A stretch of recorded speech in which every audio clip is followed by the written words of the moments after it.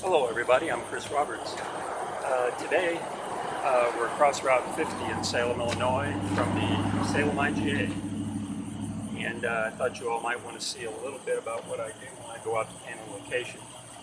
Now we're going to get some road noise here. We're right near Route 50, so hopefully you can hear me okay. I have a little scene out here of a house and some trees, and a old phone pole there. I'm standing in an empty lot here. I think at one time this used to be a gas station, and then in the back part of the lot, I think it was a feed place. Uh, Crippen Feed, I think it used to be. So we're going to see if we can make a little something out of that. It's not a, maybe not a great scene necessarily, but it gives us a chance to uh, play with our paints a little bit. So I'll reposition the camera so you can see a little bit closer what I'm doing when I make my sketch here. And uh, we'll see if we can get ourselves ready to throw some paint at this. So I'll be right back.